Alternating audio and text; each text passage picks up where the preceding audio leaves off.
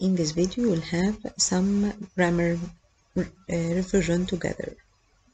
First, the first sentence we have Nancy milk every morning. So here I'm speaking about every morning. It's a habit.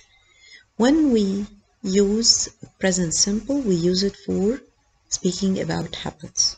So here I'll say Nancy drinks milk every morning. What about this one? Susan the floor an hour ago. So an hour ago means past simple. So I use Susan swept the floor an hour ago because the past of sweep is swept.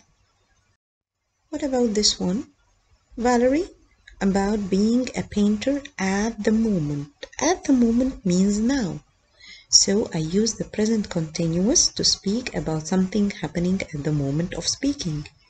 The present continuous consists of am or is or are plus verb plus ing. So here I have to say Valerie is dreaming about being a painter at the moment.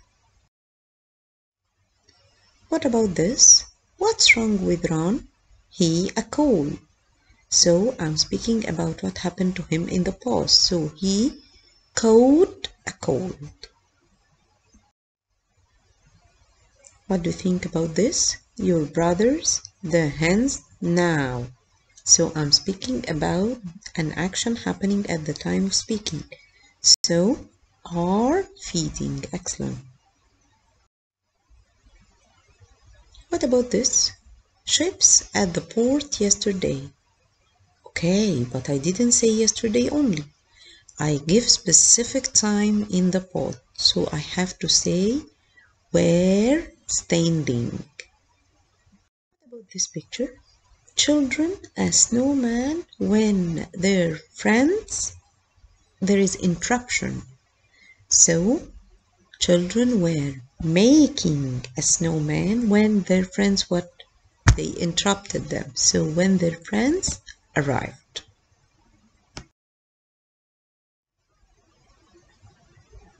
The fortress on the bank of the river. So I'm speaking about a fact. It's is. So it is on the bank of the river. I to ride a bike when I was child. So it was my habit in the past. So I have to say I used to ride a bike when I was child.